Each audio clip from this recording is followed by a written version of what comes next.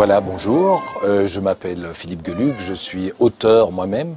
Et euh, oui, je voudrais vous faire part d'un coup de cœur. Je ne sais pas si ça se fait dans cette rubrique de parler de grands classiques.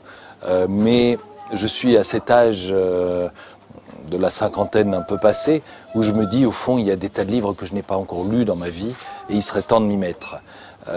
les, les, classiques me barbaient comme tout le monde au moment de l'école où on a essayé de me les faire lire. Et par exemple, cette année, j'ai lu Anna Karenine de Tolstoï, que je n'avais jamais lu avant. Euh, et que j'ai lu comme un, comme un roman policier. Euh, on, comprend aussi pourquoi les, classiques sont devenus des classiques quand on les lit à, un âge où on aime la littérature et, où on aime lire. Euh, et le livre dont je voulais vous parler, c'était Belle du Seigneur d'Albert Cohen. Euh, je suis plongé dedans pour l'instant. C'est édité, alors j'ai la chance d'avoir l'édition de la Pléiade, mais je pense que c'est édité en poche aussi. Euh, J'avais jamais rien lu d'Albert Cohen, je le confesse.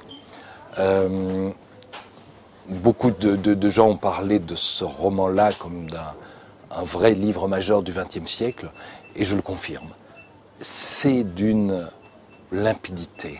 Il fait, dans la Pléiade, il fait mille et quelques pages, donc c'est un vrai pavé. Mais on, rentre dedans comme dans du beurre. C'est d'une limpidité, d'une beauté d'écriture euh, euh, toute simple. Euh, c'est drôle, c'est drôlissime. Et Dieu sait si j'avais vu Albert Cohen en interview, si j'avais lu des papiers sur lui, c'est pas, euh, je veux dire, on n'a pas l'impression de se trouver devant un Likaku, par exemple. Et euh, pourtant, c'est beaucoup plus drôle.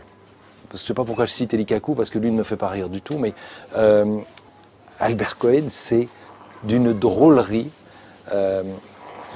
c'est drôle d'ailleurs qu'un un roman qui soit aussi important dans les littératures du, du siècle dernier soit en même temps aussi drôle et recèle des scènes qui sont quasiment des véritables sketchs.